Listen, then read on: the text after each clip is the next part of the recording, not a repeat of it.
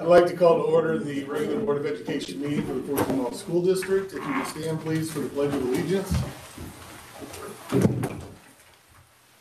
I pledge allegiance to the flag of the United States of America and to the republic for which it stands, one nation, under God, indivisible, with liberty and justice for all. Thank you. Be seated.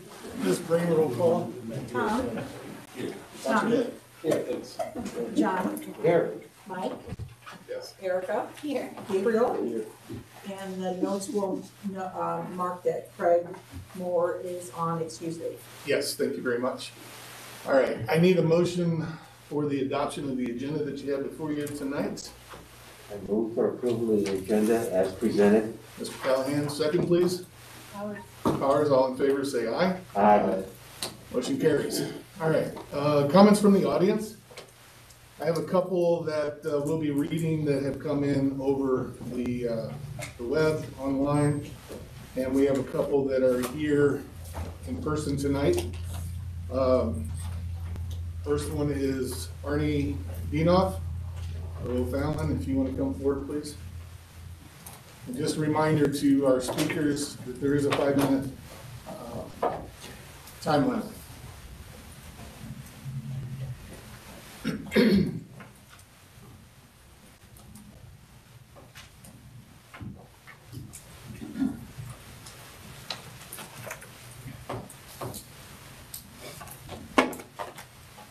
you very much, members of the Board of Education. Uh, Good evening, my name is Arnie CAC Anastave Dinoff, uh, Public Advocate of the Fort Zumwalt School District and also a countywide public advocate. Uh, I wanted to talk about a few things here. Um, The first thing is the district finances. As you all know from discussions last month, the district has no deficit. There's no deficit spending. As a matter of fact, we have a surplus of money and my question to the Board of Education is, I've asked for evidence and facts. How are you spending our taxpayer dollars? How are you spending our federal, our state, and our local contribution from real property taxes? Uh, Right now, the St. Charles County assessor reassessed real property. I open up my tax bill, this is done every two years per state law. My reassessment ends up to be an additional in two thousand and twenty-one, an additional five hundred and seventy-three dollars from the money that we pay currently. Four hundred and twenty-five of that new revenue is gonna go to the Fort Zumwalt School District. So you times that times the thirty thousand households, you're gonna have a, a landmine of money coming in, of cash flow. Now, residents can ask for an informal conference hearing with the county assessor staff to go over the assessment and make sure that they're comparing apples to apples and not comparing apples to bananas. So if you disagree with the assessment of the county staff, the appeal process, uh, by the third Monday in July of this year, you can file an appeal with the County Board of Equalization. That's three members of our community who will hear your appeal. If you disagree with that, you can take it to the State Tax Commission. And I plan on doing that because eating that five hundred and seventy-three dollar tax increase is pretty hard to swallow. Now, the district, it was made whole, plus some money from the federal government by the governor's release of hundreds of millions of dollars to local school districts. We went from being in deficit spending to now a surplus for the next school year, and we're in great financial shape, according to the state auditor's office and according to the Office of Financial Responsibility in the Missouri Department of Elementary and Secondary Education. But yet you wanted to ask me and my fellow residents for a huge tax increase that Dr. DuBray wanted seventy-nine cents per one hundred assessed evaluation. Then it was rolled back to thirty-nine cents that we saw on April sixth and was soundly and resoundingly defeated by our residents. Our residents are smart. Now, the state appropriation to the school district, uh, to the, uh, Department of Elementary and Secondary Education is very whole from the state legislature, if signed by the governor, which will go into effect for this fiscal year, which starts July first. Now, the, uh, deal that was made with the House and the Senate committee is thirty percent reimbursement for transportation costs. Kind of, you know, it's a little bit more than what we got this year. Uh, and so we're looking at an increase in transportation costs from DESE and from the state legislature. Now, state House and state Senate bills that have been truly and finally passed, I just want to go through uh, that with you. Um, I ask on some of these tax bills, uh, especially the one that we all know about, which is a all-out uh, attack on public education and trying to make public education private, which would be H, uh, House Bill three forty-nine, passed or sponsored by Chris, uh, Phil Christofanelli here in St. Charles County, which has established the Missouri Empowerment Scholarship Accounts Program, which is giving tax credits to residents in lieu of paying real estate taxes. And there's a whole caveat of different things that this bill does. But I would ask that you lobby our governor and, uh, to not sign this bill. And please send your emails to Tammy, T-A-M-M-Y, dot Allee, A-L-L-E-E, at governor mo gov. Uh, some of the other issues that I'd like to go over, uh, Senate Bill eighty-six Thirty seconds. creates new provisions prohibiting the use of public funds to influence elections. And that's what our school district is not gonna be allowed to spend any money for public education any longer. Uh, House Bill six eighty-five lowers the minimum age requirement instead of twenty-four years for Board of Education to twenty-one years. The bill establishes, or, uh, House Bill three sixty-two, this bill establishes the Government Lending Transparency Act, which is reported to a database which will be maintained by the Office of um, Auditor and State Treasurer. And HB two seventy-one establishes the Missouri Local Government Expenditure Database.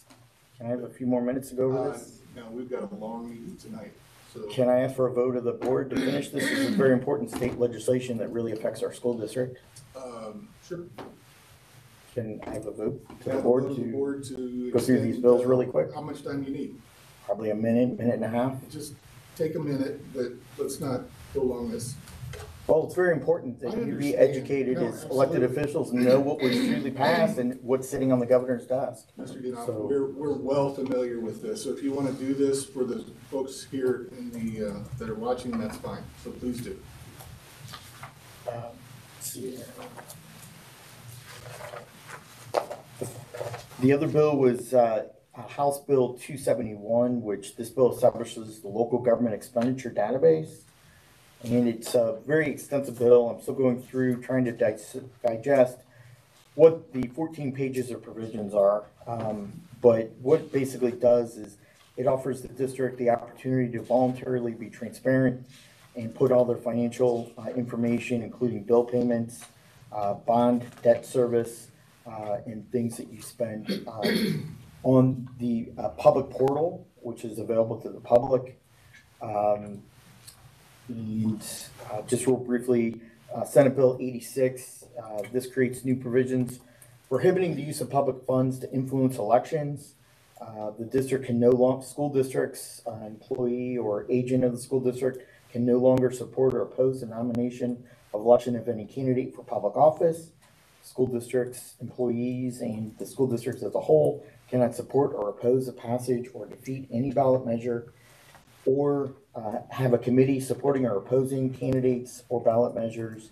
And finally, it does not allow the school district to pay debts or obligations of any candidate or candidate committee previously incurred in the above um, legislation. Uh, But the one with Christofanelli, I really ask that you really get involved because that is really starting the erosion of public education. And it allows for tax credits and it's gonna start taking away money from our, that's from our needed uh, public sources. Appreciate Thank that. you. The information that you shared there at the end is quite, uh, quite informative, and helpful to our public, and I appreciate that. The information on the front side, however, just a fact, fact check. The money that we, that was released is one-time funds. We're not gonna be able to see that from time to time, year after year, so just so you know. And the We'll let other thing appropriations. The other comment that you made was that Dr. DuBray had asked this board for a seventy-nine cent increase, and he never did. So I just wanted to fact check that, so I want to make sure that you understand that that It is. was in the workshop when the prices were He being never discussed. asked for seventy-nine cents. Maybe it was sixty-nine, pretty close. Arnie, Mr. Dinoff, Yes, sir. I'm just, I'm just saying, when you come forward and share facts, it'd be nice to have the facts. Can I ask the board to entertain the possibility of passing a resolution to send to the governor urging him not to pass House Bill three forty-nine? Mr. Would that be we possible? can't, we can't take, we, we can't make a motion from the floor like that. No, but you could support that motion. I You can can make that absolutely, happen. we can absolutely talk about it. Okay, Thank you very much. thank you. Um, next item is Alexis Bingham, next, next speaker. If you could give us your address and your comments, please. Apologize, I'm a little nervous. Uh, Gabriel, congratulations. Thank Uh, welcome to the board. Uh, my is Alex Bingham. I'm the president of the Find the Light Foundation. May is Mental Health Month, and that's what I'm here to talk about tonight. Uh, at the first board meeting of the year, Find the Light presented the results of a preliminary survey that was conducted over Facebook. The survey found that of 300 students who participated, 73% reported struggling with self-harm or suicide.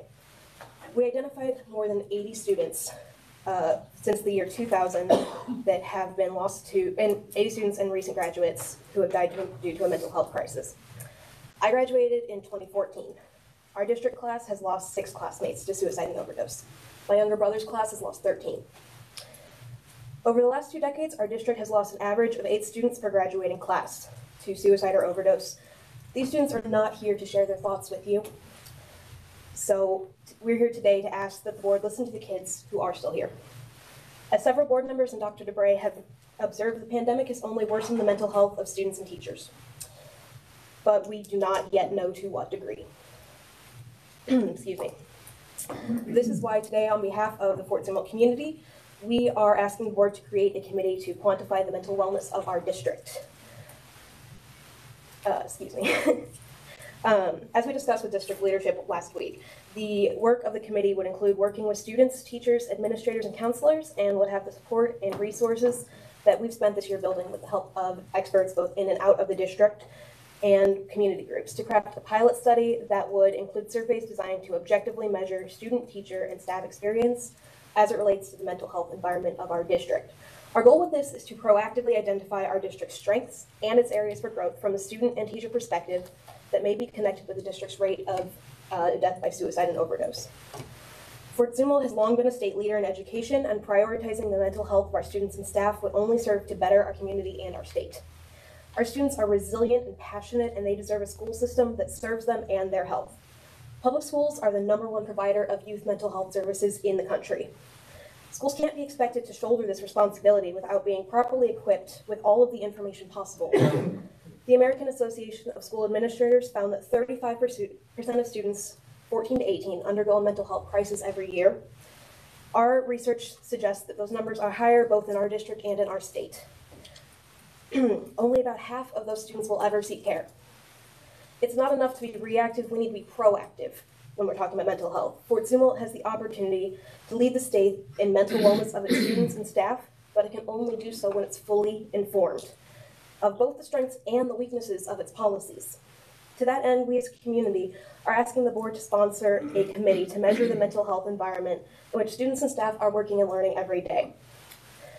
I'll end with this. Fort Zumwalt is full of world-class teachers and students who are resilient, empathetic, brilliant, and uniquely passionate. That's something that this district is, is very successful in, the passion of their students. The best way for the district to move forward and be the best that it can be is to give them an opportunity to give feedback on their district and to listen, and listen closely. It's not only the best way forward, it's the only way forward. We're very proud to be products of Fort Zumwalt, and we believe that our district can be a model for education across the state. But that starts with mental health of the students and teachers. It starts at the very lowest levels. That's where academic success is built. We look forward to following up on this request. Thank you for your time. Thank you, Alexis. All right, did have a couple of comments from uh, online. The first being from Teresa Davis of St. Peter's. Given the latest scale back of restrictions, would it be possible to allow the students to remove masks? If not completely, perhaps removing them from PE and recess should be considered. And finally, uh, this is a young man, Cormac Allen of St. Peter's. Um, Had the privilege of talking to Mr. Allen via email. Uh, Dear board members, My name is Cormac Allen. I am a kindergartner at St. Peter's Elementary. I sent you an email about field day for virtual kids. Thank you for making my wish to go come true, but I still want all of my virtual friends and all of the virtual kids to be able to have the choice to go too. I think that all virtual kids should get to make their choice because field day is a lot of fun. It is also good exercise. They will get to see their schools and their virtual teacher. I also think they should get the choice to go because it has been a very hard year for everyone. Field day would be fun and a safe outdoor thing to end the year.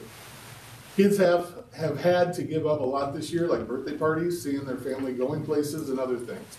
But field day is outside, so it can be safe, and then we don't have to give that up too.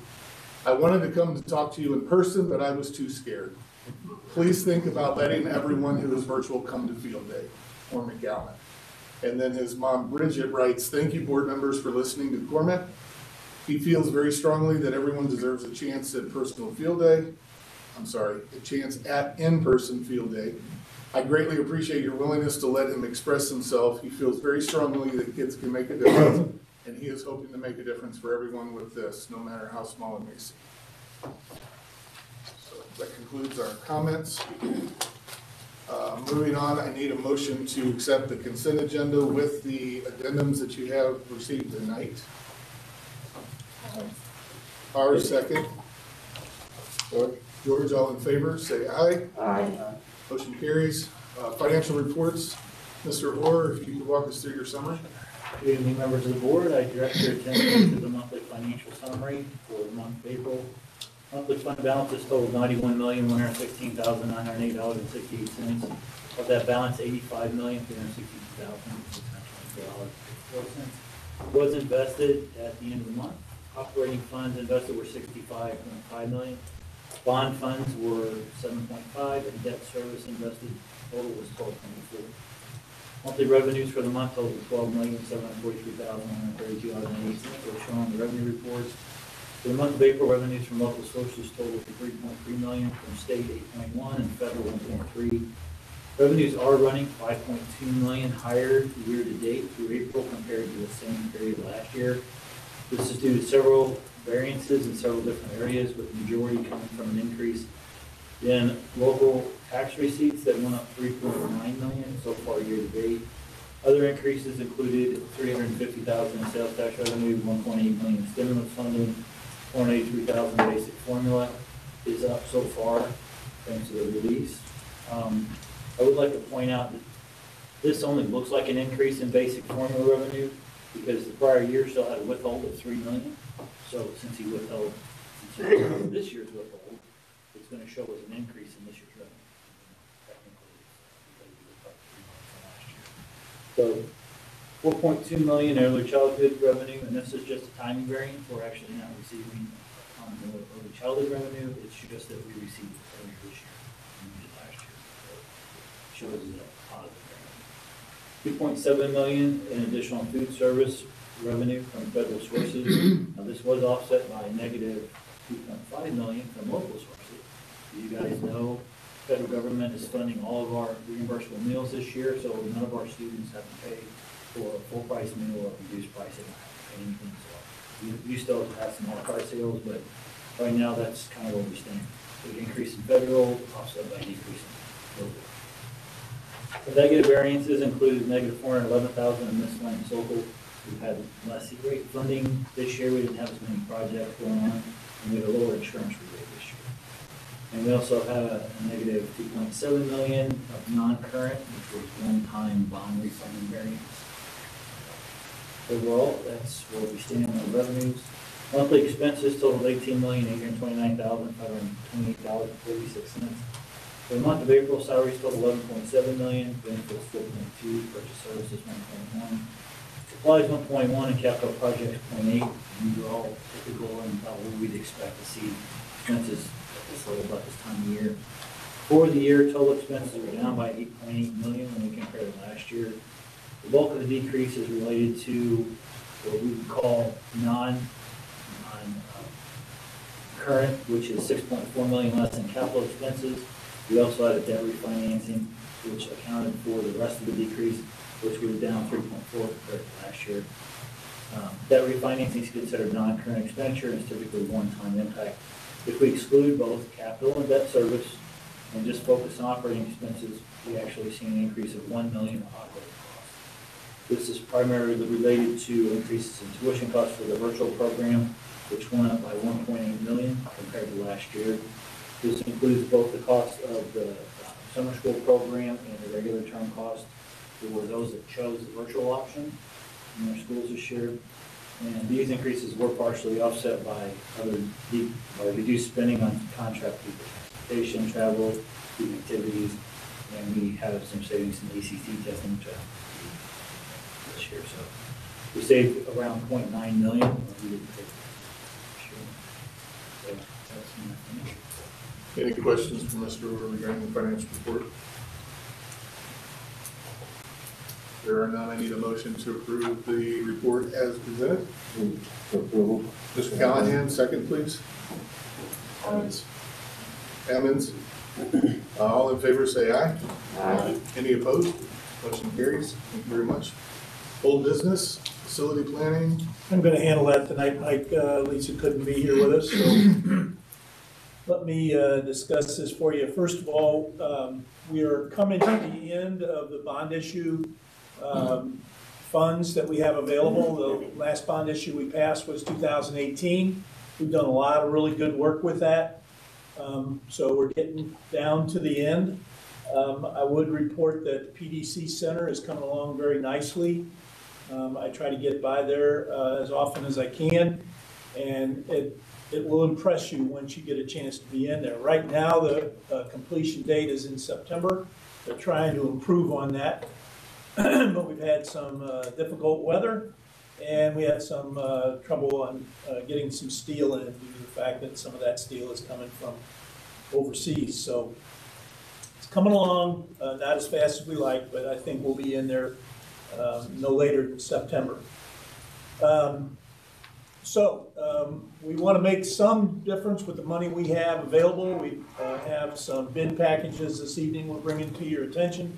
There's three bid packages. The first one is J.L. Mudd Elementary, which includes painting and flooring, and there's three alternates with that. Bid package two is Forest Park Elementary, which includes some painting and flooring.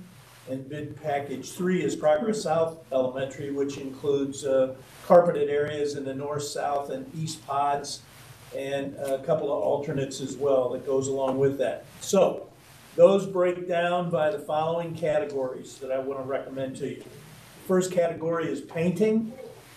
Um, This is a part of bid patch, pack, package number one. J.L. Mudd Elementary School, painting all the corridors and restrooms in the building. Um, the low bid, uh, was Joseph Ward Painting, and their base bid was thirty-seven thousand, two hundred dollars. They had two alternates, uh, twenty-two hundred dollars and fifty-one hundred dollars. Um, at J.L. Mudd, I'd like to recommend that total amount of forty-four thousand, five hundred dollars. They are the low bid.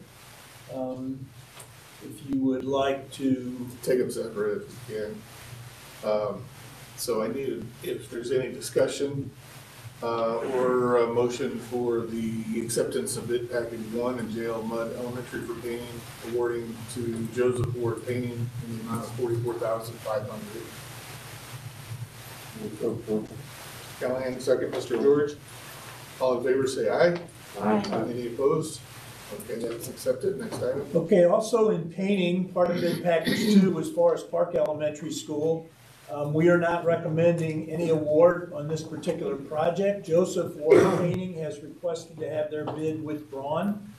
Um, and we felt that the, uh, other bid, uh, top quality was, uh, just higher than what we expected. So I need for the board to, uh, allow Joseph Ward to withdraw their bid for this, uh, particular project. They say that they missed some allowances in there and they just can't do the, the project for what they bid. It was much too low. So I'd recommend that you allow Joseph Ward to withdraw their bid. So per the recommendation, I need a motion to allow Joseph Ward Painting to withdraw their bid on bid package two at Forest Park Elementary. George? George, second. Callahan, all in favor, say aye. Aye. Any opposed, like sign. Motion carries. Next category was flooring, and this is a J.L. Mudd again. CI Select was the low bidder on this particular project, but they have asked to have their bid uh, withdrawn due to an error in estimating. So the second low bidder was Richarde Floor Covering Company, um, and that was for a base bid of four thousand two hundred twenty-two dollars and alternate one in the amount of five thousand eight hundred forty-three dollars for a total of ten thousand sixty-five dollars. And I would recommend that you would both allow CI Select to withdraw their bid and accept the next low bid of Richarde at ten thousand sixty-five dollars. Do you have a question? I have a question, sir. Um, The the word abatement uh, raises some questions in my mind. Are we dealing with excessive amounts of mold, or is there a risk issue here? No, whenever we talk about abatement, we're talking about asbestos. There is asbestos in the glue. Uh, It's no longer, yeah, yeah. So uh, you can't do a renovation unless you abate that asbestos. And so it's expensive to do, but we got to get rid of it. Okay. They'll be- They'll be in bunny suits doing their thing. Yeah, they will. Yeah. All right, with that in mind, uh, CI Select being the low bidder, asking to withdraw their bid. uh, I need a motion to allow them to pull and to award this bid to Richarde Floor Covering uh, for J.L. Mudd in the amount of ten thousand sixty-five dollars. I move for approval. Mr. Callahan, second. Mr. Helms, all in favor, say aye. Aye. Any opposed? That's, okay, great. All right, in like fashion, um, at Forest Park Elementary, where we have more flooring going in, CI Select was a low bidder. They made a mistake in their estimating. They're asking the board to allow them to withdraw their bid. Uh, Richarde Floor Covering Company is the second low bidder. The base amount for the carpeting at Forest Park Elementary is twenty-five thousand, three hundred and sixty-eight dollars. And that would include any, uh, abatement that has to take place, so seven, uh, twenty-five thousand, three hundred and sixty-eight dollars. So likewise to the last motion, uh, we're gonna release the CI Select and award the contract to Richarde floor covering for Forest Park Elementary uh, in the amount of twenty-five thousand three sixty-eight. Need a motion to approve? Powers, second. George, all in favor, say aye. Aye. And that motion carries. All right, the last part of the flooring category is Progress South Elementary School, where we are going to do uh, extensive carpeting in the north, south, and east pod. Um, On this one, Richarde Floor Covering Company was the low bidder. Um, The base bid uh, was twenty-eight thousand, four hundred seventeen dollars, with two alternates, one of eleven thousand, three hundred and forty-three dollars, and one of ten thousand, one hundred ninety-nine dollars for a total of forty-nine thousand nine hundred fifty-nine dollars. Uh, CNI Select was not the low bidder, but requested to withdraw their bid due to an error in estimating. So I would, ex- I would recommend that you accept Richarde's bid and allow CNI to um, withdraw their bid. Doesn't really matter since they're not the lowest bidder anyway. Yeah, they, true, but they requested it, All so. right, so again, likewise to the last motion, uh, I need a motion to approve Richarde floor covering for the Progress South Elementary flooring package. And, uh, we'll release CNI Select from their, uh, their bidder. Move for approval. Mr. Callahan, second please. Mr. Helms, all in favor say aye. Aye. Any opposed? Moving on to acoustical. Last item is at J.L. Mudd, we're doing some acoustical ceiling repair and renovation. Friend Acoustical is a low bidder for a total amount of sixteen thousand fifty-four dollars. I'd recommend that you would approve that. Need a motion to approve, uh, Friend Acoustical, uh, for replacing the J.L. Mudd elementary, uh, acoustic ceiling for bid package number one, the amount of sixteen thousand oh fifty-four. Powers, second. Callahan, all in favor, say aye. Aye. Any opposed? Uh, motion carries. Thank you very much. Very good. All right. Thank you. Moving To the next item, fifth grade one-to-one program updates. Uh, Mrs. Waters, you want to bring us up to date? Yep, thank you. Um, We have with us this evening um, JB Money, our Executive Director of Technology, and Kim Dyson, who is currently serving in the role as elementary instructional coach, and that will become a permanent role for her next year, which we're really excited about. And Um, They have worked really hard this year, uh, particularly second semester with our fifth grade teachers uh, to pilot a one-to-one program in two of our elementary schools with the hopes that it would go well and that we can roll that out for all of our fifth graders next year throughout the district. So they put together a quick PowerPoint presentation and are going to share uh, their findings and, and the input that they received. Are. Uh, Maybe. Maybe. We're just gonna talk through it. Okay, we're just gonna talk through it. printed. Yeah, right. Um, it's gonna battle us tonight, so, but we don't wanna take a lot of your time tonight anyway, so, um, just really quickly, we wanna talk about fifth grade. Uh, in the past, we have brought our uh, Chromebooks that come out of our eighth grade to our fifth grade or into our elementaries in general. Um, but they've just gone into carts. And what we've really found is we want our students to be more prepared for middle school. Um, and part of middle school is you get a, a Chromebook to take home, and it's yours, and you've got to take care of it. Um, with some of the struggles we have there, though, is we're asking our middle school teachers that are general ed teachers to really teach our students how to care for those devices, how to use those devices on a daily basis at home. And at fifth grade, we have the luxury of having elementary tech teachers, which are able to focus on that a little bit more. And what we'd like to do is shift a take-home one-to-one model to our fifth grade. Um, that will help us kind of get through some of those hurdles, make sure that we spend the time with our students that we really need to going into the program, and gives them a little bit more of a way to prep for middle school before they get bombarded with everything else around middle school. So this year's pilot program was with two of our elementary buildings, um, Rock Creek and Ostmann, both agreed to work with us. Before we sent those devices home, we made sure we had a very um, set plan in place. We talked with the administrators, with the librarian, the technology teacher, and all the fifth grade teachers, as well as the technicians that would be preparing the devices. Um, once we, that plan was in place, um, the principal sent out an opt-out survey, so we gave the parents an opportunity, we let them know what the program um, was going to be about. We gave them the chance to opt out if they preferred their child not to bring a device home. Um, out of all of the fifth graders at the two buildings, we did have one student that opted out, um, and that student just kept the device in the classroom, but still practiced charging it and making sure that they had it available and ready to go each day. Um, the teachers and the principals also met with the fifth graders and they went over the expectations for the program before they started sending them home, which was about two weeks into second semester. Um, they did have extra chargers and uh, loaner Chromebooks available for the students just in case anything happened, which of course it sometimes does.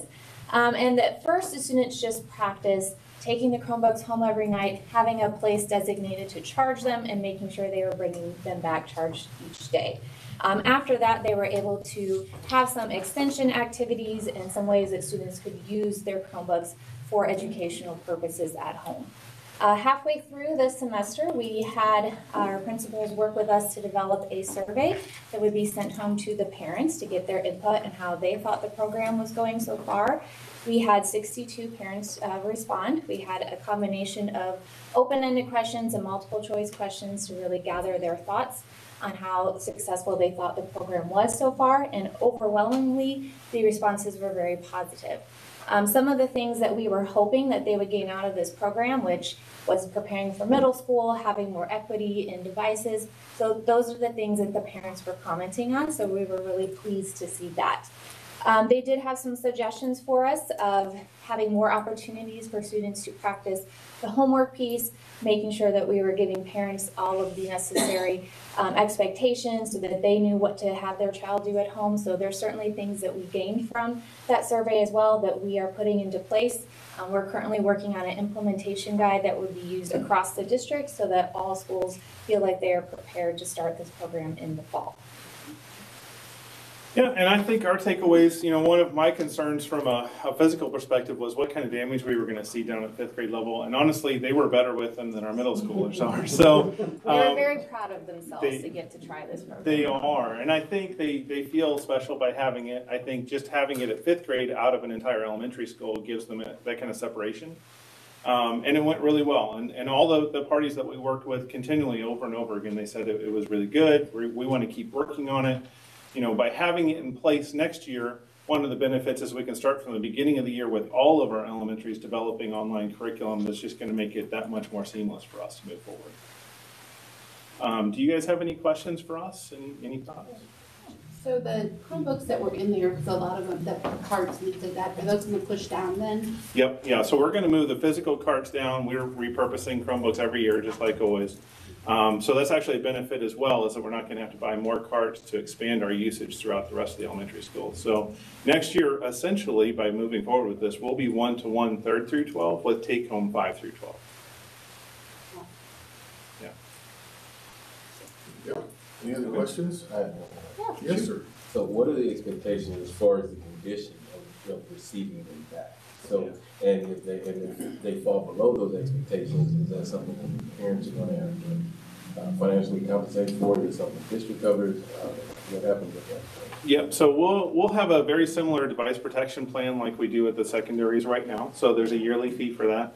Um, we generally, right now, kind of have a regular check-in that we ask students to bring devices down. Um, we want to implement a more formal plan for that next year, and I think fifth grade is an ideal place to, to start that as well. Um, and for that, the first incident is always free each year if you're on the device protection plan. So it's that second and forward incidents that are an issue, which also tends to be students that are going to have issues anyway, is what we found. And so we work with those parents and try to reduce what we can. Um, and, but they will be ultimately financially responsible for those, those incidents as they occur after that first one.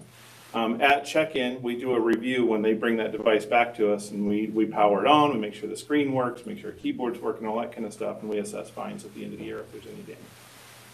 The insurance program is fifteen dollars. Fifteen dollars a year, uh, that's, uh, half cost for those with free and reduced lunch. So it's, it's not very high, uh, when we look at state averages. When we look at what others in the state are charging, generally they're around twenty to twenty-five dollars. We've kept that pretty low here and we've been successful with that. There's also, they get it, the parents have to sign, and the kids have to sign, saying that, so they know all the costs and expectations up front too. We try. Be part of the registration process for them.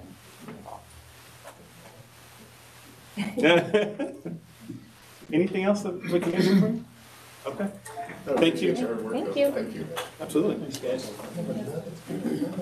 All right. Um, Jen, did you have anything to follow up on that, or you good? I, I did not, no, just, we just wanted to let you know where we were with it.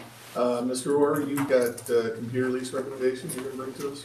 I do, members of the board, in your, in your packet, you have the memo from me outlining the computer lease recommendation for this year.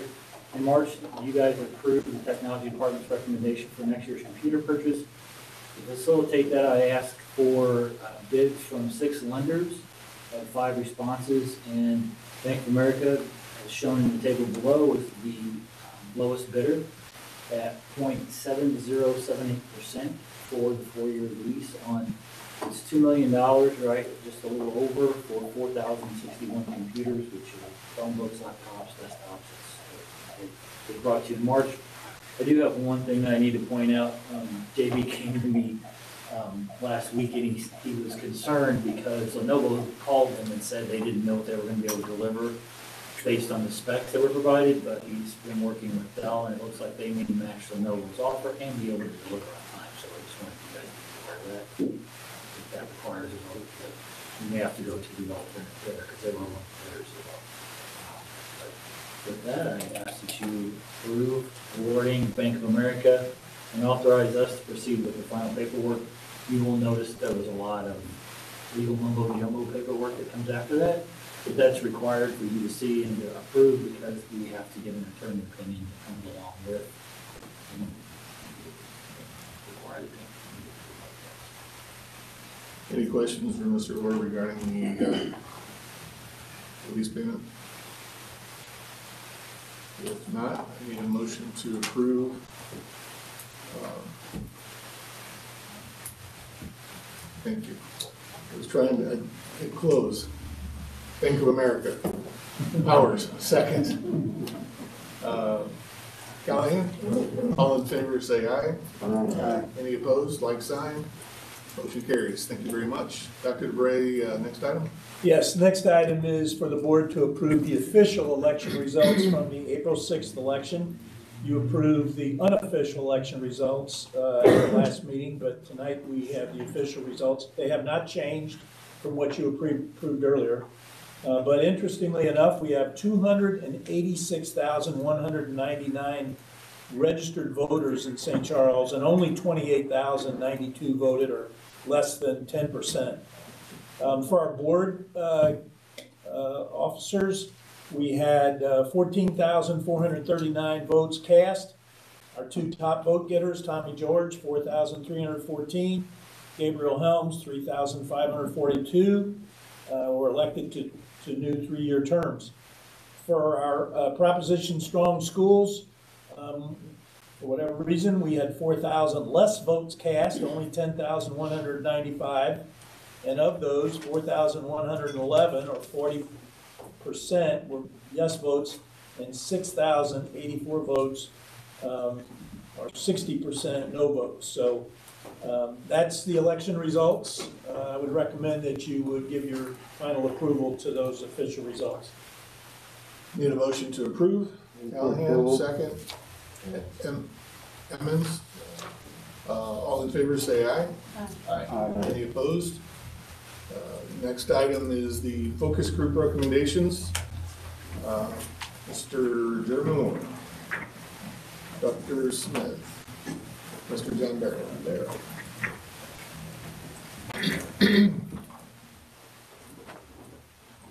We're just kind of working, move this over here. Get it figured out there? I'm gonna try one thing real quick. Okay. We did uh, share the PowerPoint just a second ago with you guys, so if you want to check your email in case we cannot get it uh, going.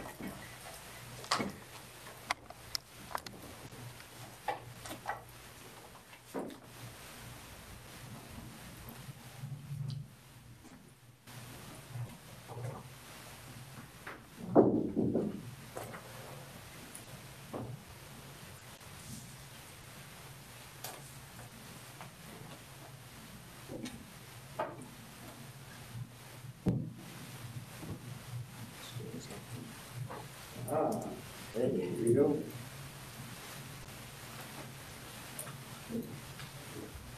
All right, great.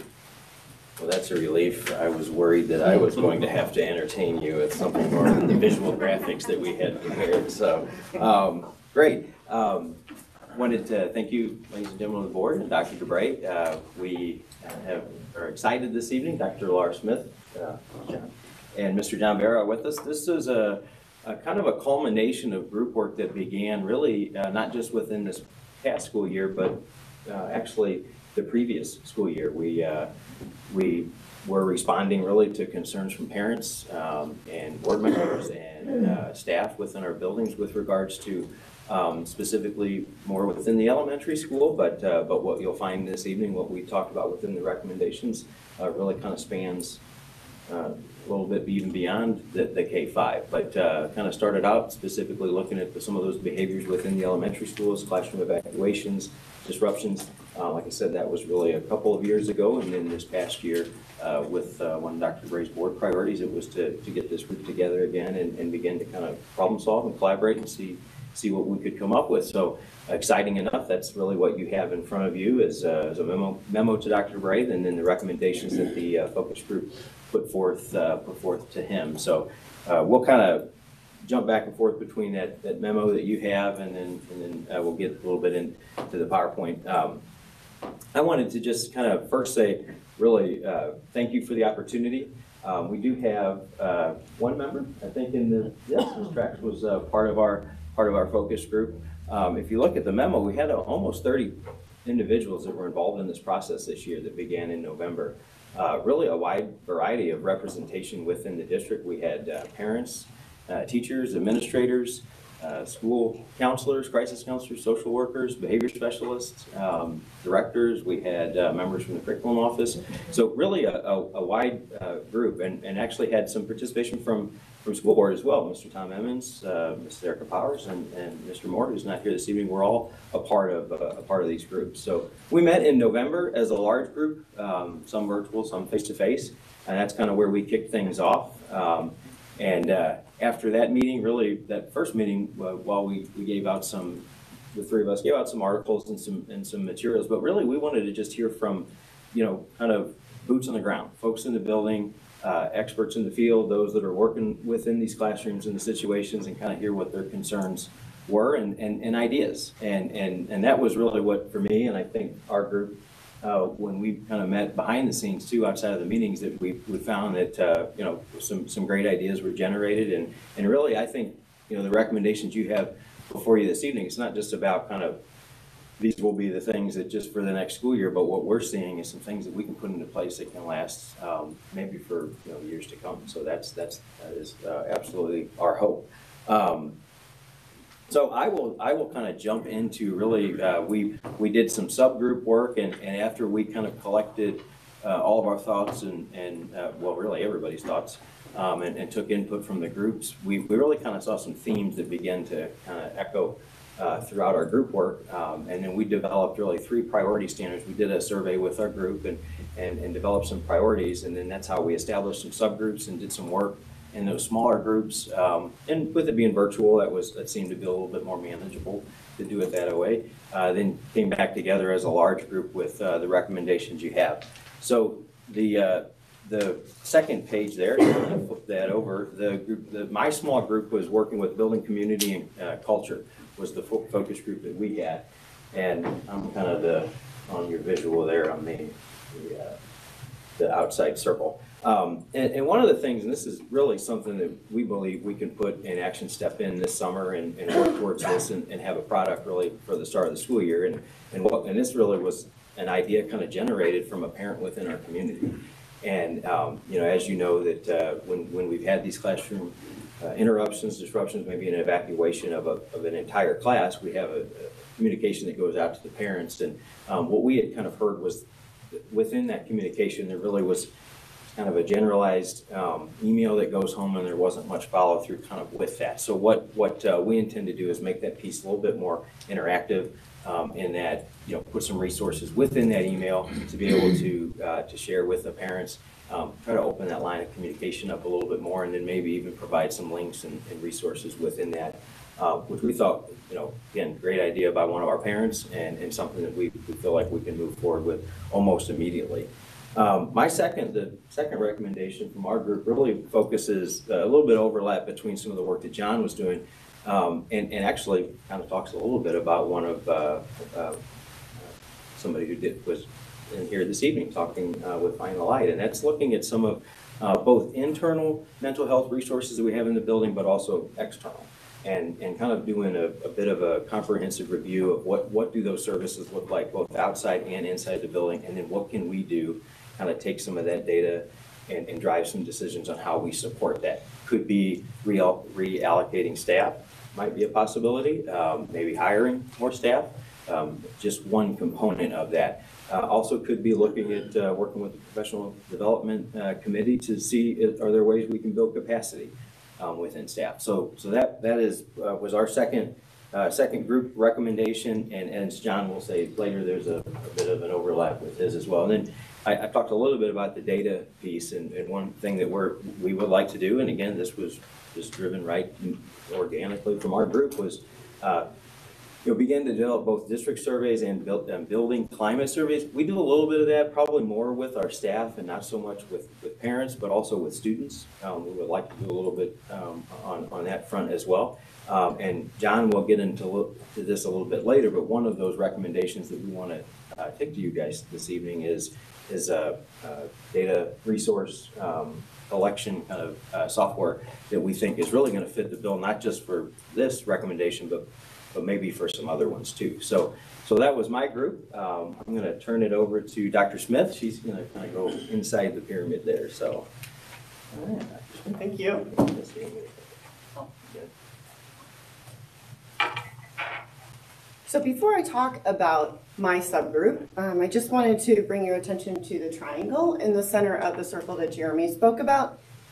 In the education world, um, for several years now, we are accustomed to looking at a triangle, and what it represents is all of our students. And so, um, likely you've heard about RTI, response to intervention, or multi-tiered systems of support.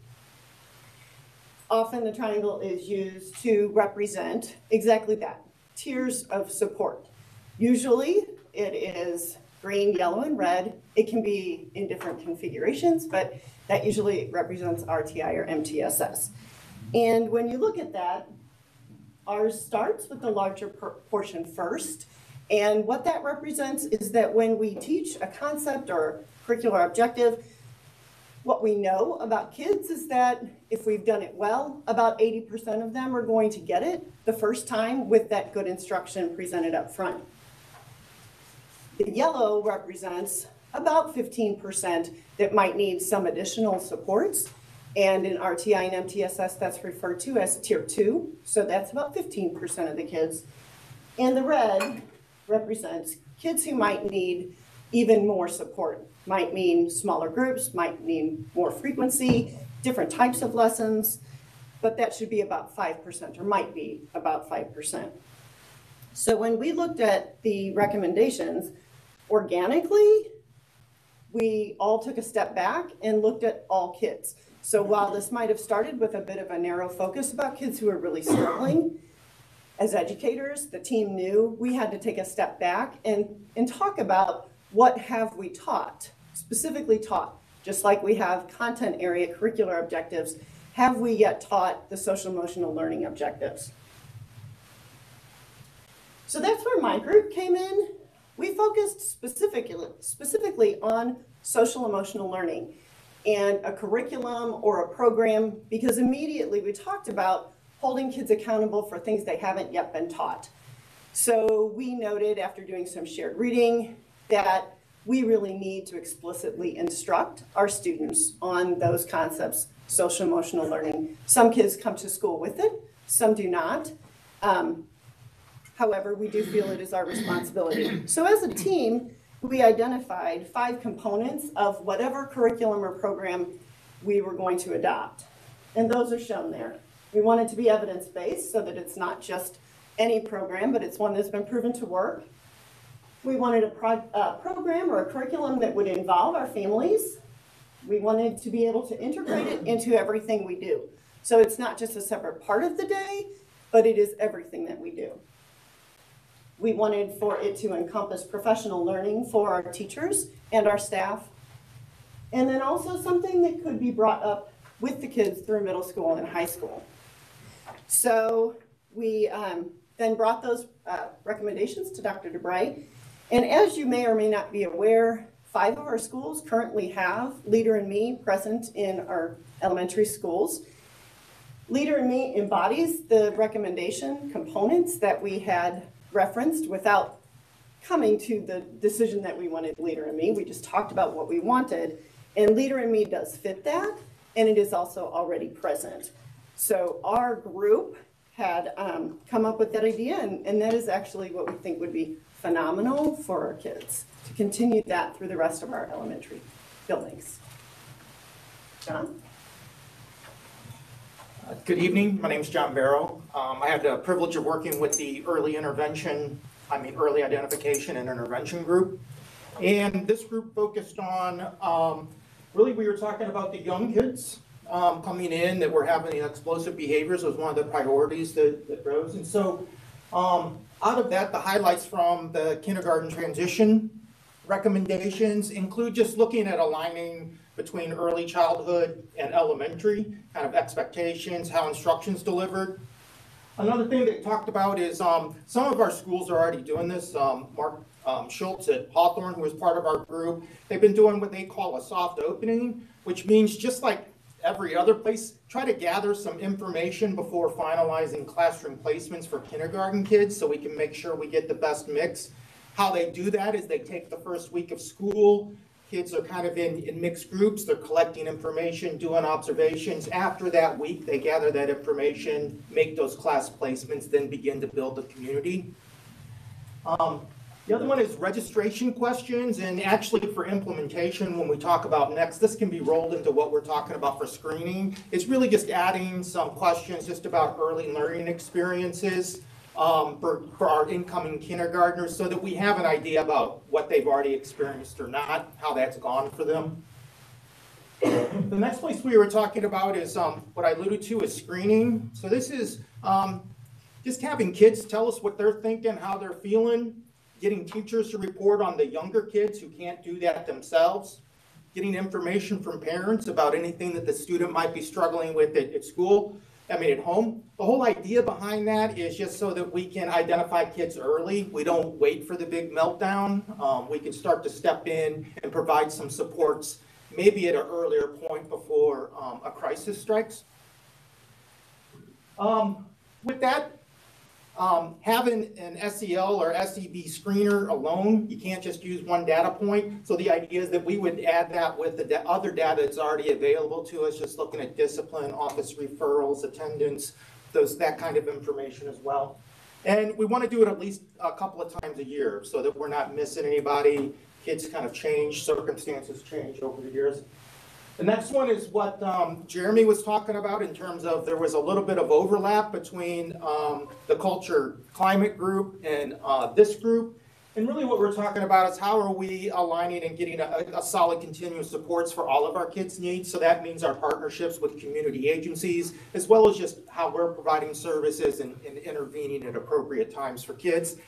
The tricky part with this is just making sure that schools have uh, what they need in order to match those needs, um, the, the intervention to those specific needs. And the other part is just tr- some training along with that. How do, how do you use the data and information in order to um, get down to the root of what's going on and be able to um, apply interventions to that? So, the last part is probably going to take uh, a little bit more study. And this is really around what do we do for those kids that come in that just are so far away from what those expectations and those developmental standards are for behavior at that early at that early going. And so what we want to do is try to develop something that's responsive and flexible for those kids' needs, that's intense enough to support them, but we want it to be supplemental. We don't want it to be someplace that they end up just going. We want to make sure that we're giving them the skills, learning the routines, the expectations, so that we can start to integrate them back with their peers as they're ready to do that. We don't want to set it up as a one-size-fits-all kind of program. So once again, we want to use the student information so that we can be responsive and start to decrease those supports as the student starts to demonstrate those skills. So moving from the recommendations to thinking about what are we going to do with this, um, we have a timeline, and it's a, it's a pretty aggressive timeline. We have out of those eight um, recommendations, um, combining the one from Jeremy's group and the one that I worked with, we have seven projects, basically.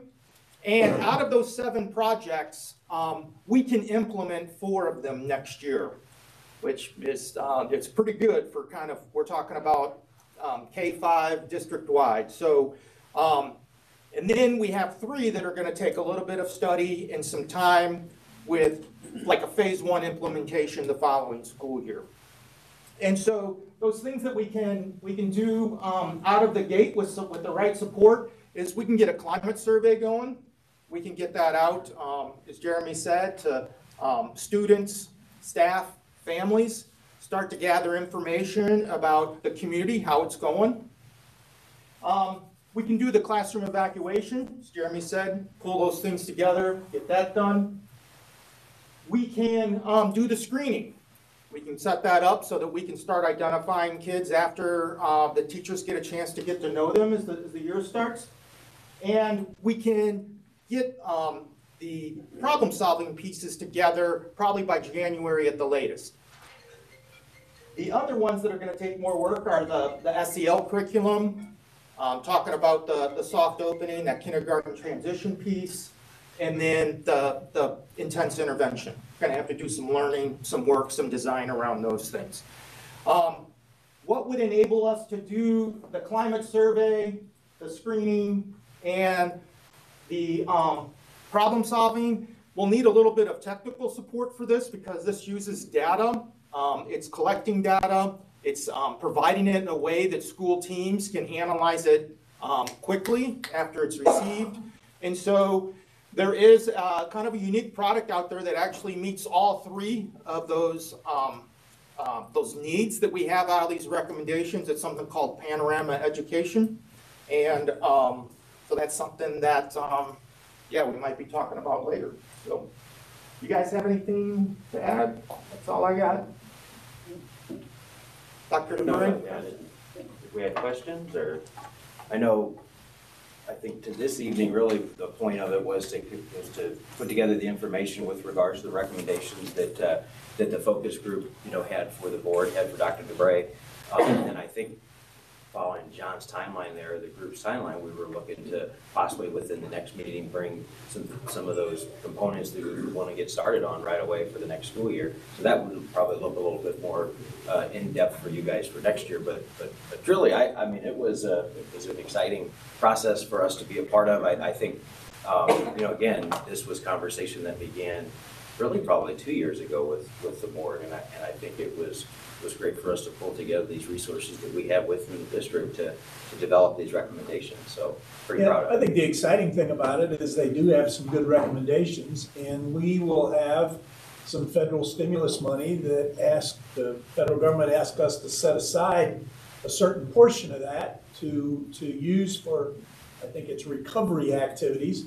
I think uh, what they're talking about, the software platform and, and uh, Leader in Me, becoming a Leader in Me district that would allow all of our elementary schools to embody the Leader in Me curriculum. Um, I think those, that, that amount of money is not gonna be exceptional, but I think we can pay for that from some of the stimulus money that we're gonna have available. So that's exciting that you can get recommendations and we actually can make happen. The other thing I think uh, that's worth pointing out is that from two years ago, where we are today in terms of classroom evacuations are about half. So uh, I think we're learning how to deal with some of these situations better than what we did before. Um, We are educators and, and we learn as, as thing goes on. What we need now is the data to help us identify and uh, uh, categorize some of the problems that, that we're having. So this is not pie in the sky, this is something we can make happen. And I think we're gonna, we're going to uh, see some, some real results even beyond what we've seen now. So I think, I think the committee has done really good work and come up with some good recommendations. And, you know, we commit to, to the board that we're gonna carry forth and, and we're gonna continue to improve on the problems. Do you see with the surveys, I want to clarify, this is going to be for all levels, so we're doing the surveys, in, correct? But it's not just K five, we're doing it in all levels with our students, Yeah, our we- staff. the- I think what we had put together for Dr. DuBray is kind of two plat, not two platforms, probably two bids for that, yeah, for both, so we can kind of take a look at both of them, but yes. I mean, Because I think that's, we definitely need to have that. Yeah. If we're doing, we need to look at all levels with it. And then when we do get that information, will we also be in a position, because we're gonna need, we will need more staff with it. Is that, with all that, that we'll need more staff to fill those positions when the stuff comes back? Yeah, I Do you think that's see it further down the road. How far down do you think that would be? I think once we get started, we'll, it'll help us determine what our timeline is, our final, final timeline. And that data that we receive will help us to make really well-informed decisions about where and what kind of staff as Right. well. Right. Yes, sir. Uh, uh, Just uh, two comments I would like your recap on. Um, This social emotional learning program will have family involvement very on and in-depth and continuous. And second, would I expect to see earlier establishment and the definitization of IEPs for children that need it?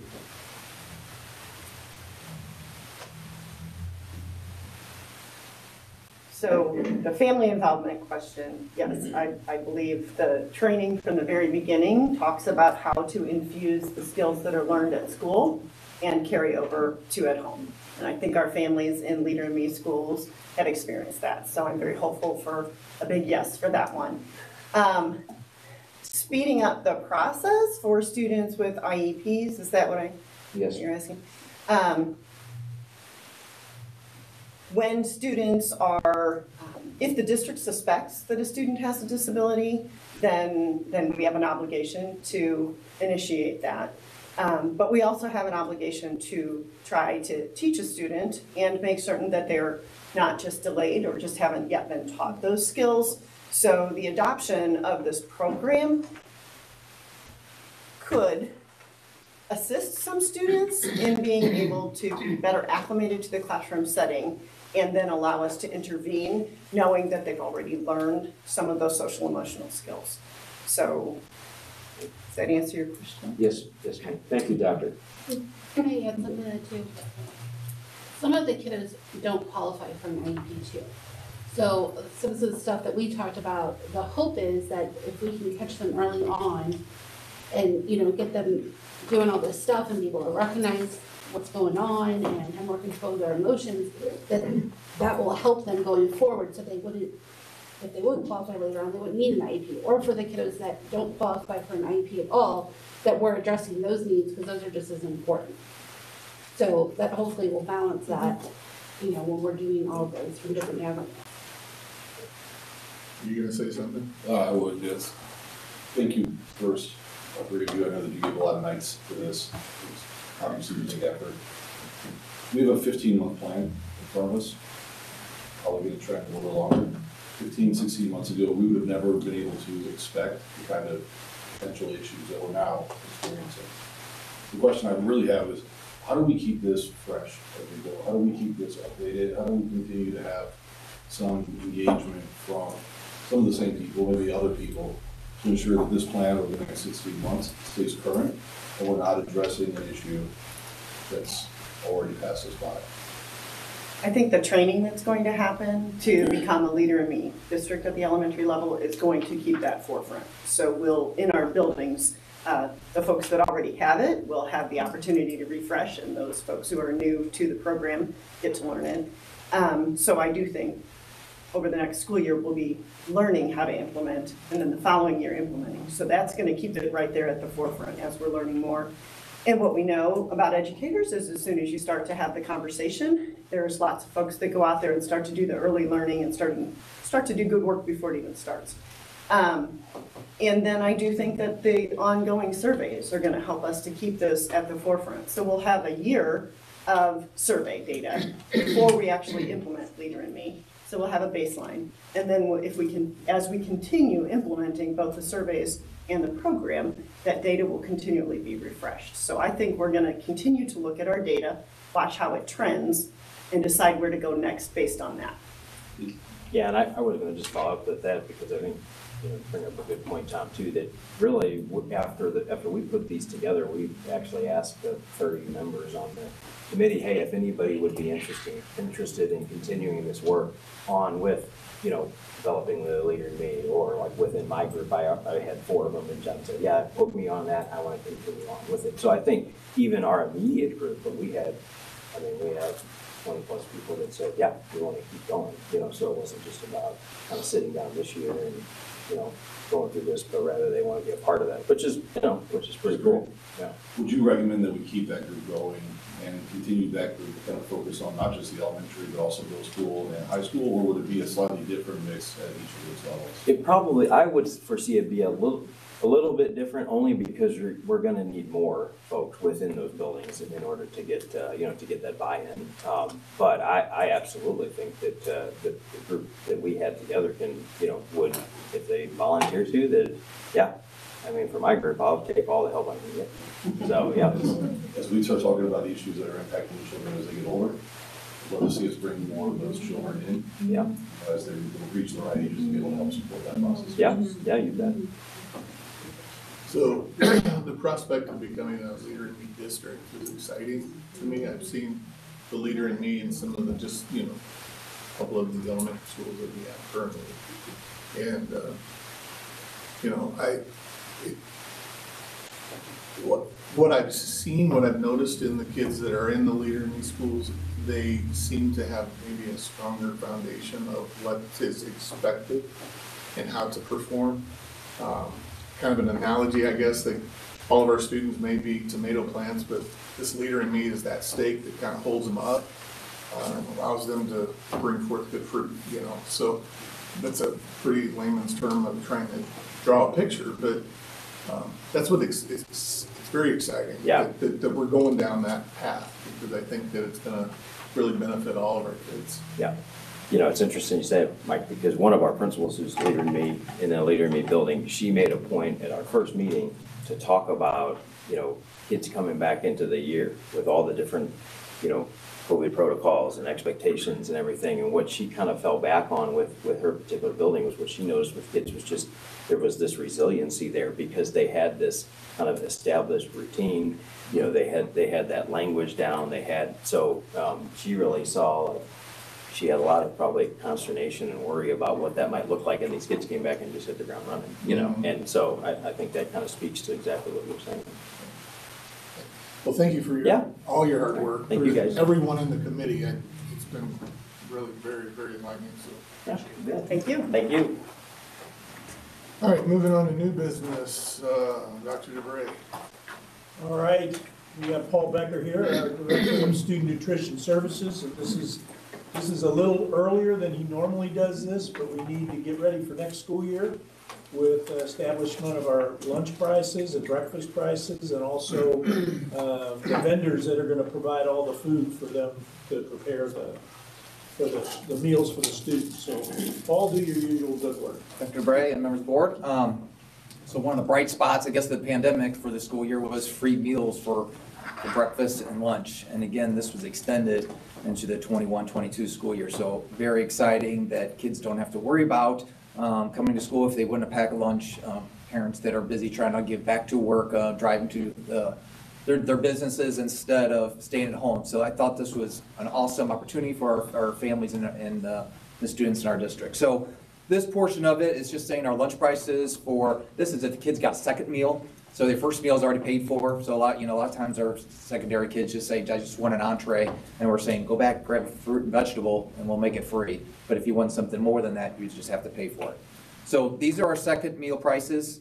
Um, so elementary breakfast would be a dollar seventy, elementary lunch, two sixty, secondary breakfast, a dollar seventy, secondary lunch, two eighty, adult breakfast price, a dollar eighty-five, and adult lunch price, three forty-five. Again, we are still the lowest, um, prices in St. Charles County. Uh, since I've almost been here, we've always kept it as low as possible, uh, for the families in our district to be able to afford it. it. Takes a lot of hard work and for our staff to make sure they're very efficient in order to do that. So I'm always proud to bring this to the board to be the lowest in St. Charles County. That's same as this year. Correct. So no price increase. So, I think that's fantastic. I need a motion to approve the breakfast and lunch price recommendation of no change for the 21-22 school year. Mr. Helms, second, please. Howard. Powers, all in favor, say aye. Aye. Motion carries. Next item. Um, These are our- our bids and requests for proposals for next school year, so the things that we send out for, uh, that we want uh, pricing on to to hopefully get us to keep us competitive within the market. As you know, prices have been going up, grocery stores, uh, anything oil-based products uh, with with uh, plastics and gloves, all those things. So we had to take our increases no matter what, and there's not a whole lot of players in the market as they used to be because, uh, you know, businesses were were not expanding during the pandemic. So uh, I brought together, you can see the winners of, of the, each section. I'm not sure, um, Mr. Swearingen, if you want to take them all at one time or if you want to do them each separately individually. Um, Probably should do them in separate. I'd like to do them at the same time. Okay. Let's do them separate. Sure, okay, so beverages, we went up with three different vendors, um, Coke, Pepsi, and Cole Wholesale. Uh, Pepsi was our lowest bid, they were our vendor from the last couple of years, Uh, their price was still a three point three percent increase. I recommend Pepsi for the two thousand twenty-one, two thousand twenty-two school year. For the recommendation, I need a motion to approve. Powers, second. Callahan, all in favor, say aye. Aye. Any opposed? Next item. Groceries are, is, our a, a Kroll bid was our, for our groceries, uh, their price increase was four point five percent. Uh, no other vendor put in for that, no other distributors. Uh, we sent to US Foods, Graves Menu Marketing, uh, two major players in, the- in Missouri, and, uh, no one else wanted to take, uh, the size of the district we are, um, in, in uncertain times. So, um, four point five percent, um, is, is a little high, as in considering that, um, that we normally wouldn't get that kind of increase, but considering today's market and the market fluctuations of prices, I do consider it fair. If I remember too, I don't believe that they gave us much, if any, of uh, an increase last time either. They- yeah, you're correct. It was less than two percent. So, uh, per the recommendation uh, made on whole, whole wholesale for the grocery, I need a motion to approve. Powers, second. George, all in favor, say aye. Aye. Any opposed? Next item. Uh, Dairy was sent to, uh, only sent back by two different vendors, Prairie Farms, which Prairie Farms bought out Dean's Dairy, and so they're now one big conglomerate. Uh, Cole Wholesale was our other vendor, and Prairie Farms was the lowest bid, and they were only a one percent increase uh, over last year. So per the recommendation, Prairie Farms uh, would be our dairy provider at one percent of an increase. I need a motion to approve. Powers, Callahan, all in favor, say aye. Any Opposed? Next item. Our bread bid, um, this was sent out again, um, to a number of different vendors, only Cole Wholesale and Alpha Baking returned that bid. Uh, Alpha Baking's been with us the last couple of years. Last year, there was a no price increase. This year was a two percent. Uh, they do, they deliver to us fresh bread each week. Uh, Cole Wholesale wouldn't deliver us frozen, but even though Alpha was still the lowest bid. So my recommendation for 21-22 school year would be Alpha Baking. The recommendations, Alpha Baking at a two percent increase. I need a motion to approve. Mr. Combs, second. Powers, all in favor, say aye. Aye. The next one is uh, disposable bids. Uh, These items we bid by line item. So we take all these items into our warehouse, the cheapest where we can find them. Um, The four places that won these different i- line items, which is roughly over 100 different items, Cole Wholesale, Edward Don, Industrial Soap, and Daxwell, each won a respected number of of line item bids for disposables. Take that as a. Yep. Okay. Um, Pizza, this is a delivered pizza that we, we have students, and we really use, utilize this as a treat for the kids. um, That is nice for them, something that would have within the local community. We sent it out, we sent it out to uh, Domino's, Papa John's, um, and Pizza Hut. And Pizza, or um, Domino's was the only one that did, and they were actually a seven percent decrease from last year. So I'm reckoning Dom- Domino's uh, for our 21-22 school year. The recommendation is Domino's at a seven percent decrease. I need a motion to approve. Combs, second. Callahan, all in favor, say aye. Aye. Motion carries. And finally, Apparel company provides uniforms, uh, you know, uh, shirts and uh, aprons that we give to all our staff. Um, This is something that we, we like to do for, we've been doing a number of years to be able to give them uniforms to wear. Uh, We sent out to a number of uh, local communities and VG Promotions have been doing this for a number of years for us, is the only one that came back with a bid and no price increase. Recommend them for the 21-22 school year. so again, the recommendation is VG Promotions for the apparel, no increase. Need a motion to approve. Powers, second. Callahan, all in favor, say aye. Aye. Any opposed? Thank you very much, sir. Thank you. What is all that paper you brought? Well, uh, just in case you want to see bid pricing, but it's massive, and, uh, we do, you know, the, they do a, a very good job, make sure we go through and line item bid by, so, just in case you had any questions, I would have bring it. Thanks, Paul. Thanks. Good job as usual.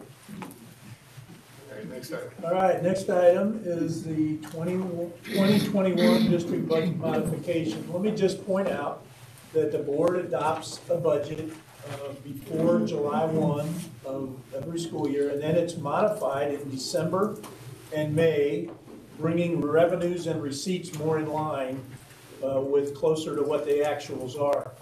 Now, I want to point out that this year, the governor did release about hundred and thirty million dollars uh, that he withheld for this year, this current year.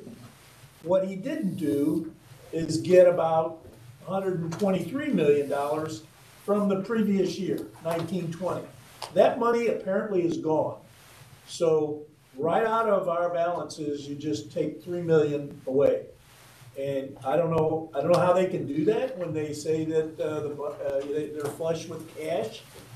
Um, That sounds to me like reneging, but uh, I don't think there's anything we can do about it. So the, the budget you have now is improved, but a big part of it being improved is that one-time stimulus money from the federal government. Uh, We would be much better off if he would have uh, released that money from the previous fiscal year. So with that uh, delightful lead-in, Jeff, tell us about your budget modification for May. Okay, members of the board, you Tammy, did you hand out hard copies? Do they have the hard I did, yes. Okay. You guys have a hard copy, you also have had the electronic copy since last week. Um, every budget has certain requirements that the law, that they mandate. Those five parts are, it has to have a budget message, it has to have fund balance section, it has to have revenue section, expense section, and outstanding debt. So the budget message really is, tabbed out there, and it's the narrative that describes the summary of changes between this May budget and the December revision. And this section also includes tax rate and assessed valuation history, if you're interested. Um, the second section is the fund balance section, which shows balances for all four of the district's major funds. And includes a variance page breakdown as well on page four that shows the major changes in revenues and expenditures between this May budget and the December revision. And then we have the revenue section, which has the summary and detailed schedules, which are by object, by year, and by fund for all of our revenues and those changes. And section four, the expense section, summary of and detailed schedules that are by object, which is things like salaries and supplies.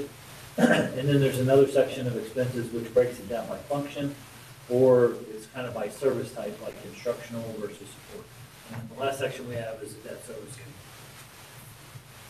So, kind of to summarize the changes in this, in this budget revision, our operating balances increased from twenty-four point three million, or ten point seven percent in December, to thirty point five million, or thirteen point four percent right now showing in this budget revision.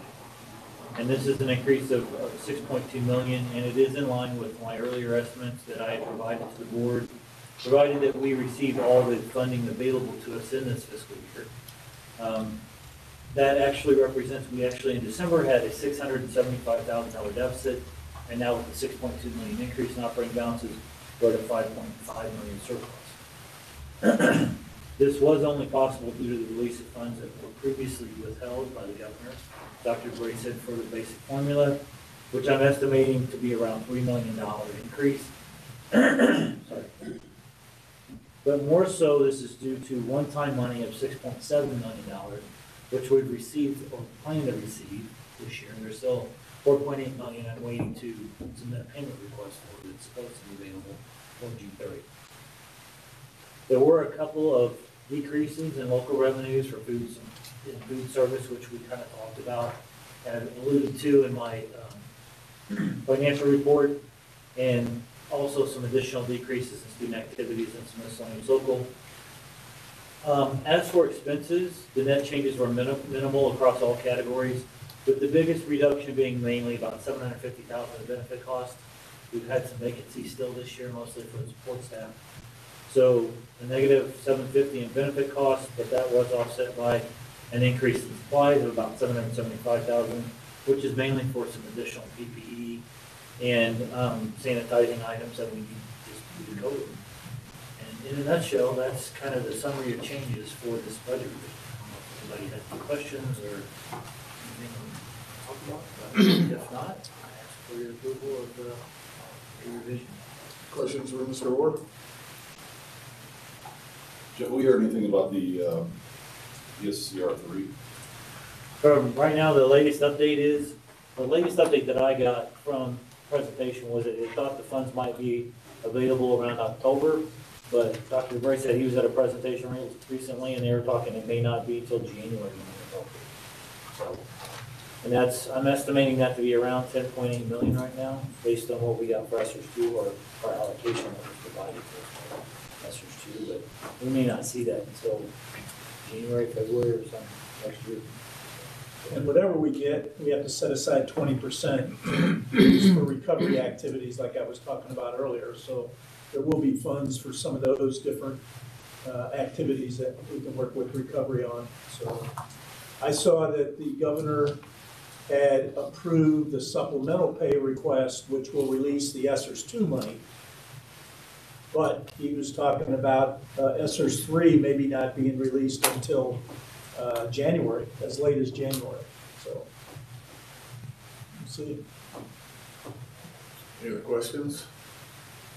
Now I need a motion to approve the district budget modification as presented. Powers. Powers, second. Callahan, all in favor, say aye. Aye. Any opposed? Next item. Thank you. Next item, uh, you remember at the last meeting, I recommended that the board waive the contingency language for our teachers. uh, Because the language said we have twelve percent balances in the operating fund uh, by June thirty, that um, they will uh, have movement on the salary schedule. That same language was written in our other uh, categories of employees that are negotiated for.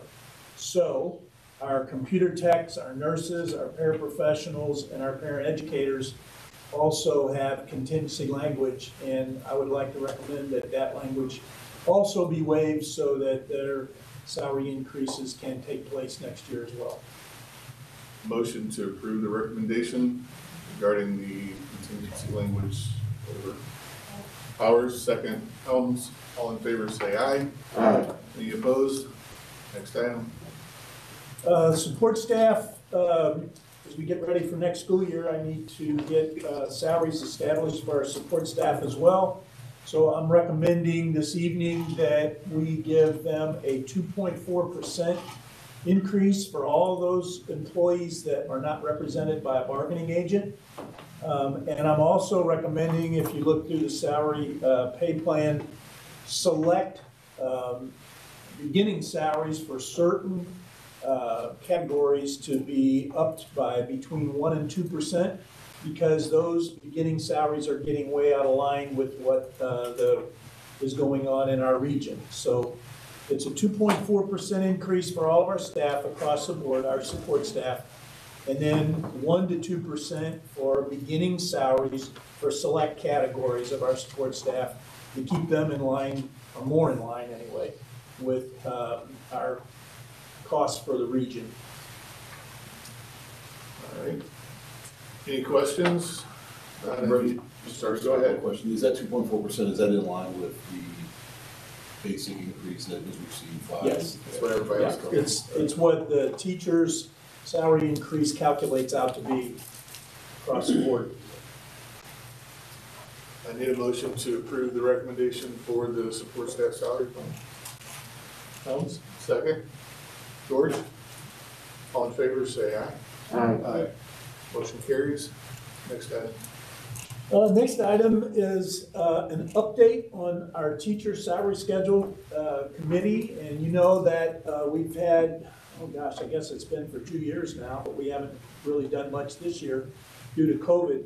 Uh, we have a teacher salary schedule that had gotten, uh, that needed to have some, improvements to it. It had gotten out of whack. Most of the money was in a certain area of the salary schedule. Our uh, beginning teachers, our least veterans, really, there wasn't much movement for them at all. It was mostly on the upper side. And um, the board wanted us to look at uh, a salary schedule and see if we could come up with something that was more fair. And we had a committee working on that a year ago. Jeff, uh, as chief financial officer, had put together a salary schedule that addressed a lot of the shortcomings of our current salary schedule.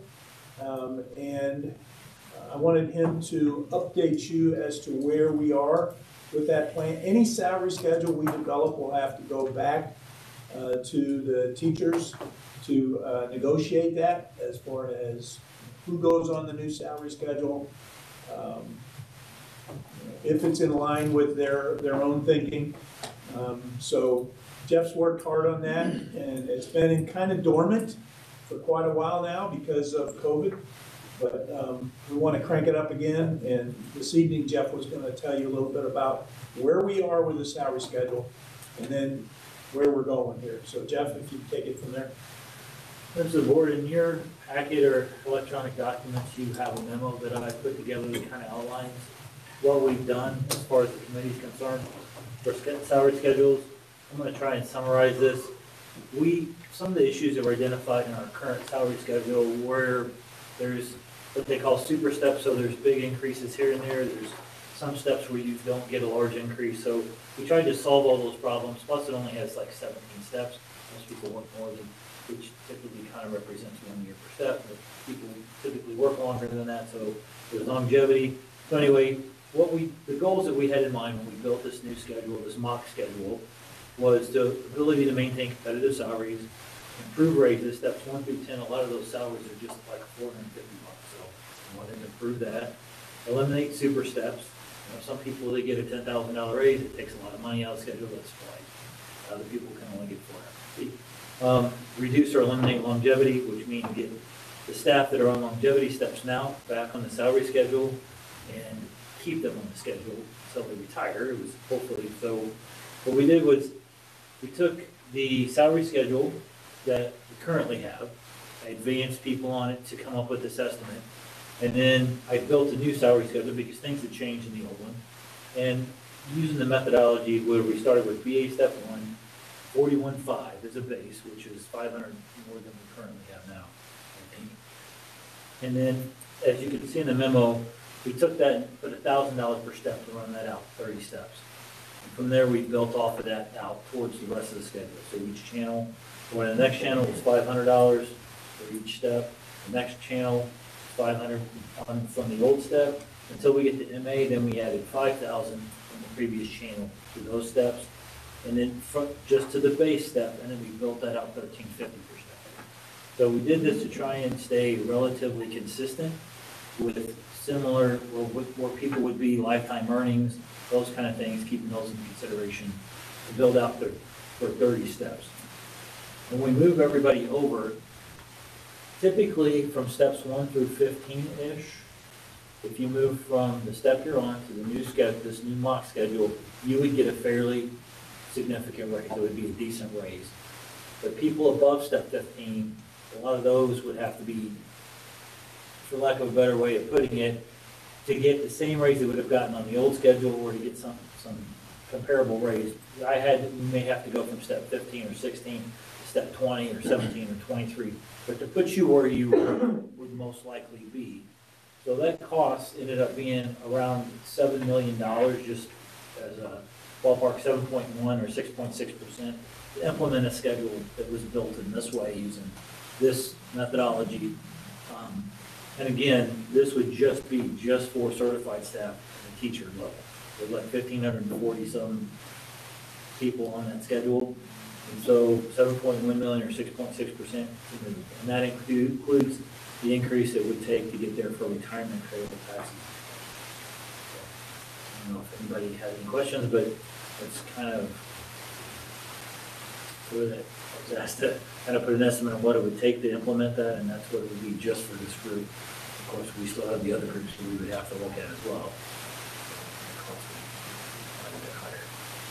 And that's probably something that we can talk with our teachers association about as to where we, where we go from here. But at least you have a, a prototype salary schedule that does all those six or seven, uh, it answers all those questions.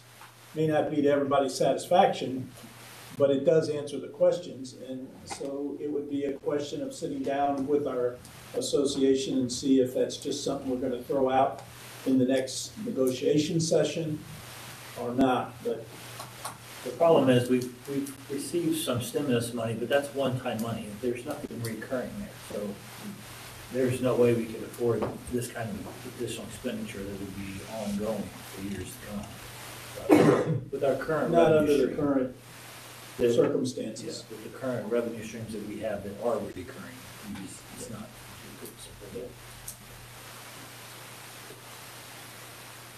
Questions? So Jeff, when we ended the conversations fifteen months ago, it was because of COVID.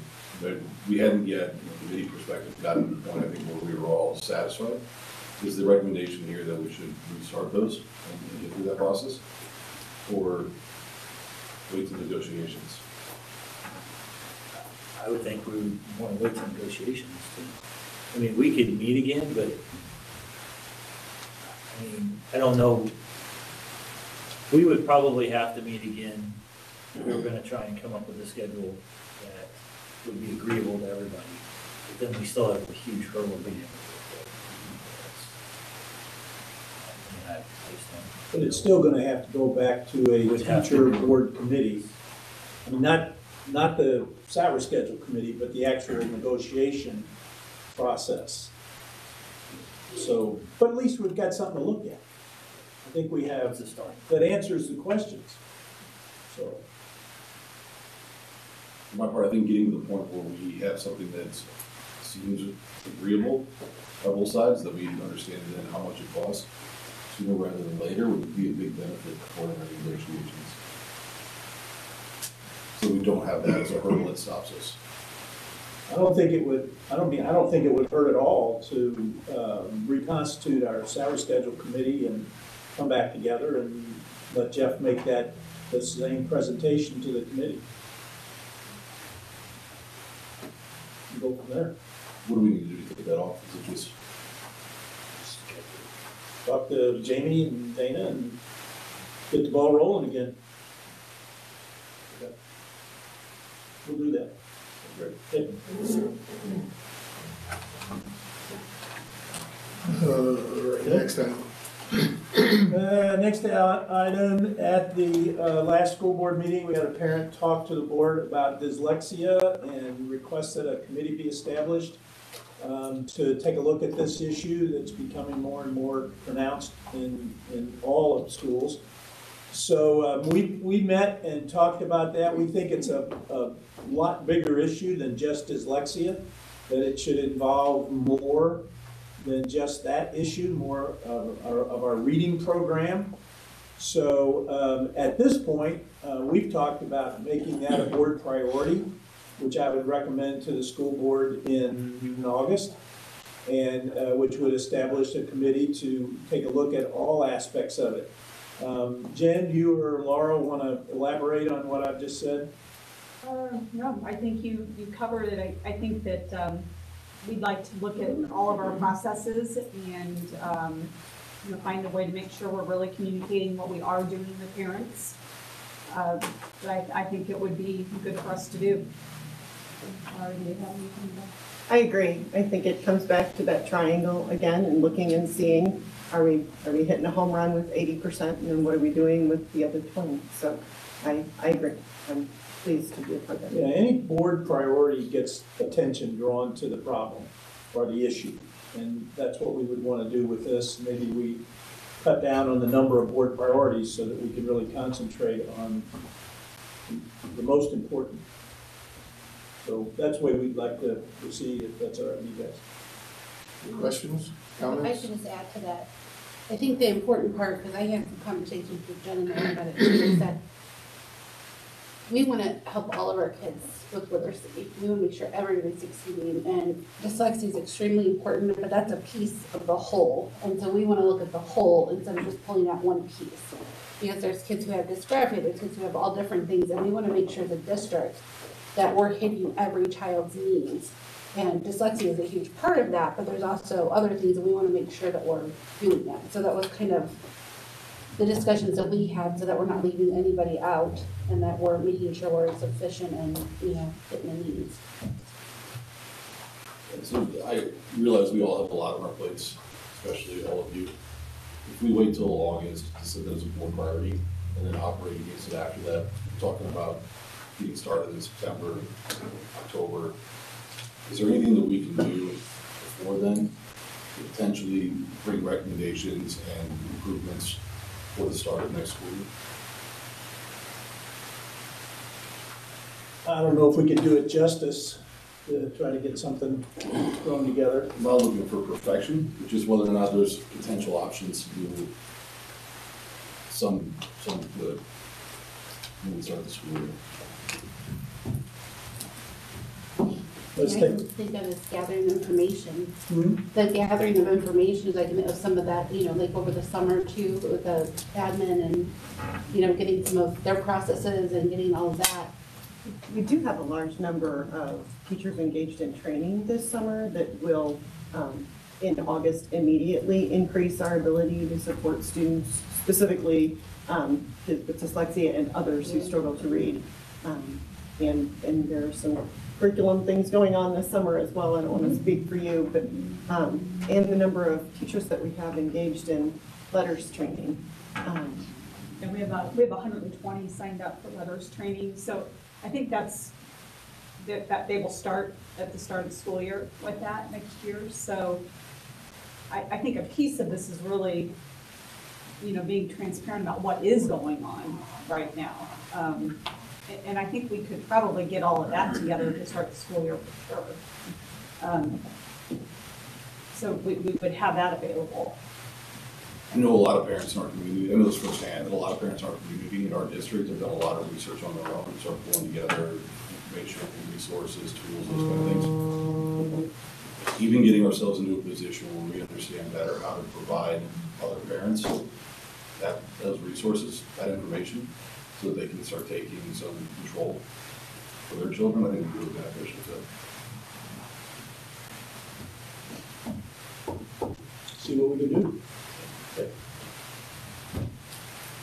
Uh, last item, Mike, is to establish a special end-of-the-year board meeting like we always do. It's the last Monday in June, June twenty-eighth, um, at six o'clock. If that suits you for, uh, the final, uh, bills for the school district. And I think we also have our insurances that we need to bring back, uh, to you, uh, for your approval. I have no problems with that. Anybody else have problems with that? Are we good? All right, so I need a motion to establish the special end of year meeting, June to Monday night, six o'clock. Callahan, second. Powers, all in favor, say aye. Aye. Any opposed? Motion carries. Thank you very much. Good work tonight, board. Thank you. All right. Um, Comments from the board. Mr. Emmons? Um, Catch you off guard? Sorry. I'm usually last. Um, Last board meeting of the year, a very interesting year, never to be redone, hopefully. Um, But just, again, thank you to everybody, all the hard work that you guys have done this year. Um, Obviously, it goes for all of our staff, you guys, you've been the way through.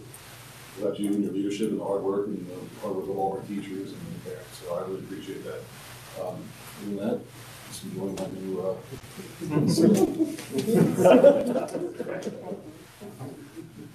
Mr. George? I'd like to echo the same thing. Um, Everybody's working incredibly hard this year to, to try to make it as normal as possible, even under most adverse circumstances, so kudos to everybody. Uh, Alexis, thank you very much for being a young person and being engaged. I know, uh, we were all there at one point, being nervous, speaking in front of everybody. So don't think that's anything that's abnormal, we're all there. But, uh, thank you for stepping up and speaking. Mr. Uh, I have to second the comments on Alexis and the, uh, uh, the organization, uh, Find the Light.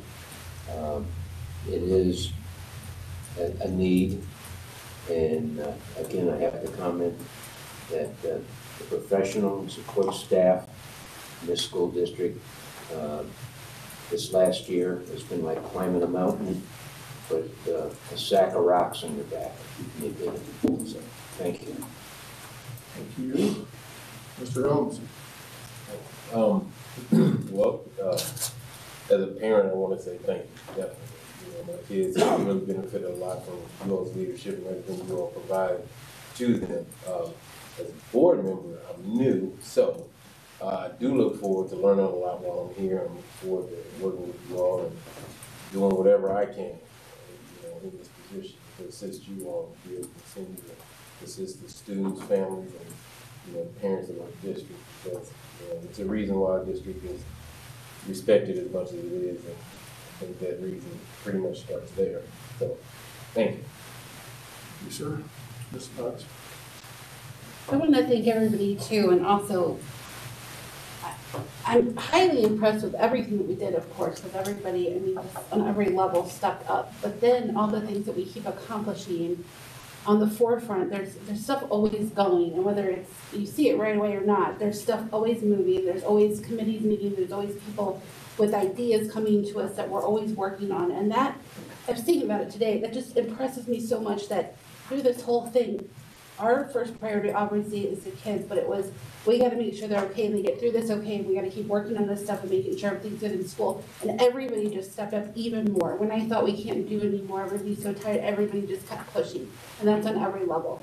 And so I thank all of you for that, from every level, from Alexis for speaking up and getting people involved, from Jenna and Laura and Jeremy, everybody, you know, coming up and saying, let's do this, let's do this, let's do this. It's so important, and we're not gonna stop. I think that sends a strong message out, we're not gonna stop, we're just gonna keep making it better. So thank all of you so much. Awesome. Nice words. Nine days of school left. So we're finished strong. Graduation's uh, 29th, 28th and 29th of May. Looking forward to that. So I appreciate you all being here and everything that you do for the district as well. I need a motion for this board to go into closed session. Howard, second. Callahan, roll call please. Tom? Yes. Tommy? Yes. John? Yes. Mike? Yes. Erica? Yes. Gabriel? We'll take a short recess and then reconvene.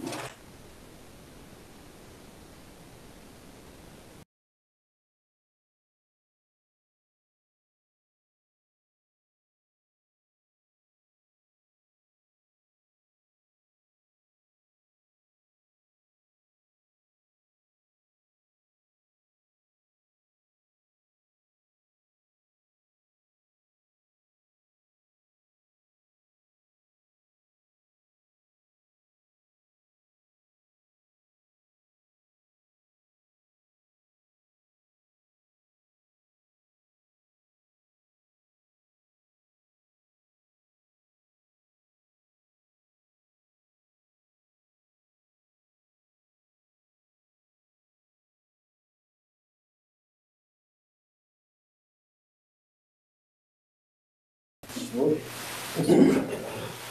good. On the mountain. All right, we're back in open session. Any business before the board at this point? If there is none, I need a motion to adjourn. Powers, second Callahan, all in favor? Aye. Motion carries. Thank you very much.